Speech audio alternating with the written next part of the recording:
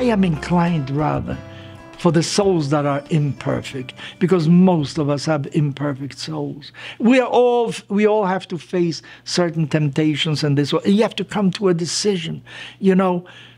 Sometimes it, it is in the moment you don't know exactly what to do and you react maybe instinctively. You don't have sufficient time to reason it out what you're going to do. Sometimes you do and you should come of course to the right decision I want to accentuate one particular thing. You know, we live in a society where children don't always respect their parents the way they should. You know, they contradict them and whatnot.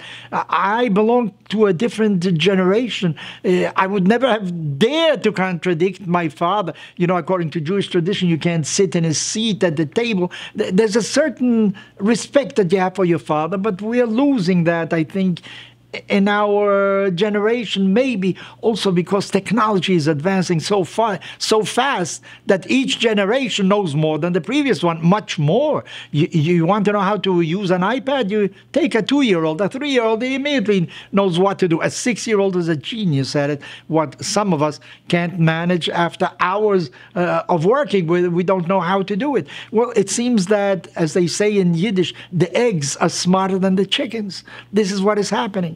But that is not something new.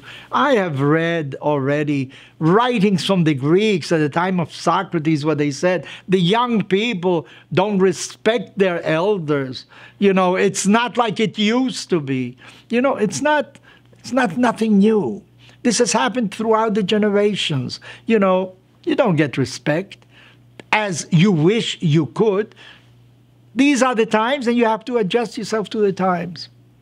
But I think there's something that maybe we do not appreciate sufficiently.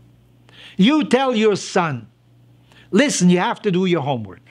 You tell your son, you know, this girl is not necessarily for you. You tell your son, don't smoke pot. You know, certain things, you know, he's not listening to you. What does this old man know? He doesn't know.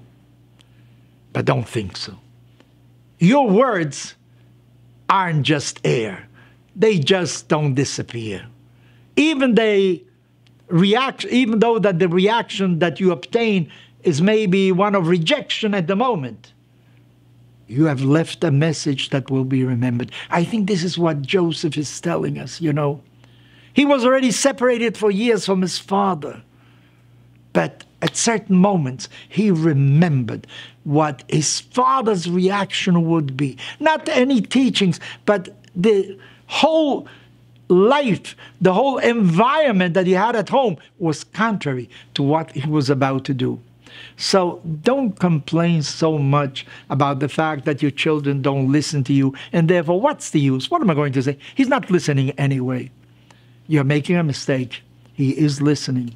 Maybe he's not reacting at the moment, but you're leaving an imprint. Make sure that your child that your friend knows exactly what your moral principles are. Because in the long run, you'll be surprised how the example that you set for him will have an imprint in his future actions.